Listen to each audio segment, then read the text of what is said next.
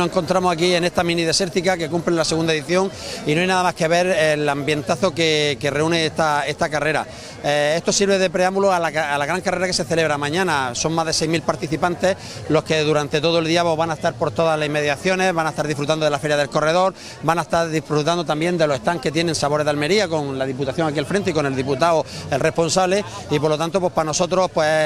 este tipo de pruebas supone un impulso económico para la ciudad porque lógicamente venir toda esta gente de del resto de España para participar en esta carrera supone que van a estar durante todo el, fin de semana en los locales, van a estar eh, disfrutando de la gastronomía y van a estar haciendo también pernoctaciones en nuestro en nuestros hoteles. Por lo tanto, para nosotros vamos a, seguir apoyando esta desértica, que ya te digo, cumple la cuarta edición, la segunda de la desértica, y esperemos que sea eh,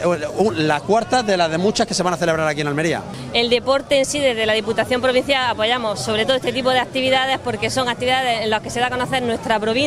los diferentes escenarios y qué mejor manera que conocer la provincia con el deporte, con el, deporte sobre todo al aire libre y así a la vez practicar hábitos de vida saludables. O sea que yo creo que es una actividad de la que desde la Diputación Provincial vamos a seguir apoyando año tras año este tipo de eventos porque la verdad que para la provincia de Almería es un gran escaparate tanto en deporte como en turismo.